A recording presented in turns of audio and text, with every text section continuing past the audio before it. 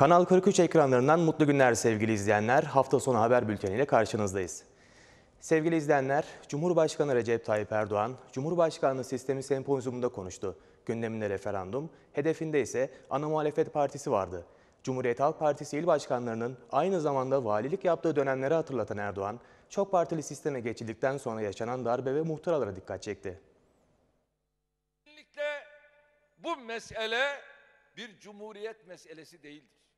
Cumhurbaşkanı Recep Tayyip Erdoğan, referandum tarihinin belirlenmesinin ardından SETA'nın düzenlediği Cumhurbaşkanlığı Sistemi Sempozyumunda konuştu. Mesele Cumhuriyet meselesi değil, Türk milletinin asırlardır devam eden beka sorununun en doğru çözüm yoludur dedi.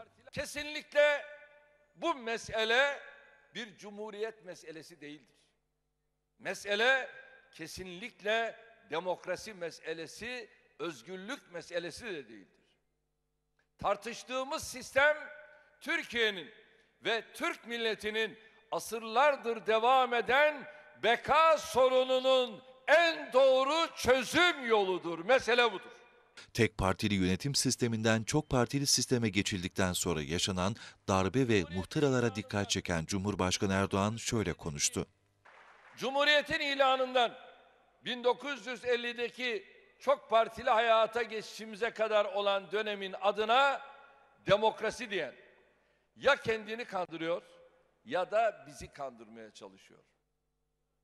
Bu dönemin adı tek parti yönetimidir. Ey ana muhalefet, önce kendini bir sigaya çek bakalım.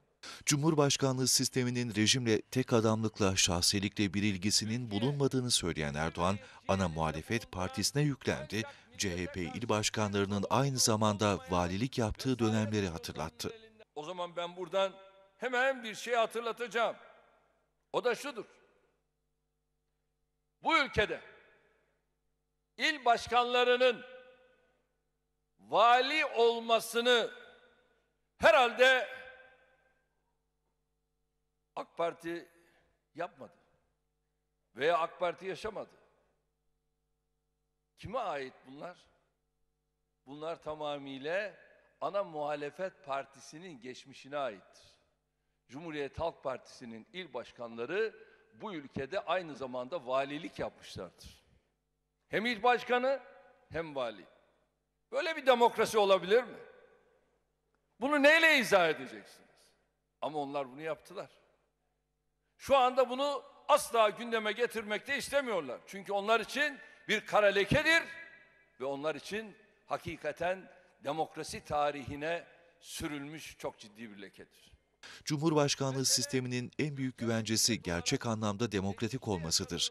Bu sistemde milletimizin yarısından fazlasının teveccühüne mazhar olamayan hiç kimsenin ülkeyi yönetme ihtimali yoktur diyen Cumhurbaşkanı Erdoğan, sisteme karşı çıkanların özellikle güvensizliğinin Cumhurbaşkanı seçilecek kişiye değil, millete karşı olduğunu söyledi. Konuşmasını şu cümlelerle sürdürdü. Bu gerçeği ifade edemediklerinden olsa gerek. Şahıslar üzerinden ürettikleri yalanlarla kafaları bulandırmaya çalışıyorlar. İşiniz gücünüz Tayyip Erdoğan diyorlar. Ya Tayyip Erdoğan baki değil ya. Tayyip Erdoğan fani ya.